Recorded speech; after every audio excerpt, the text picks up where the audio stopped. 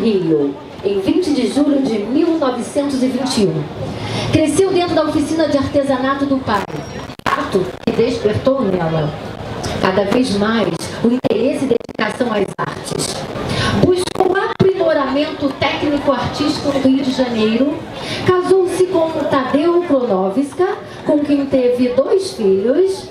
Em 1954, veio residir em Macaé, dando aula de pintura.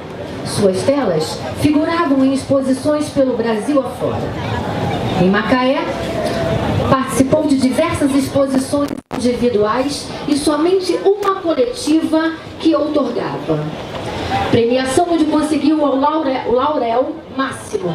Após sofrer um acidente automobilístico que a impossibilitou de pintar, passou a dedicar-se à arte da tapeçaria. Falar de Dona Maria Kronovska é aproximar-se da grandeza e humildade de tantas outras Marias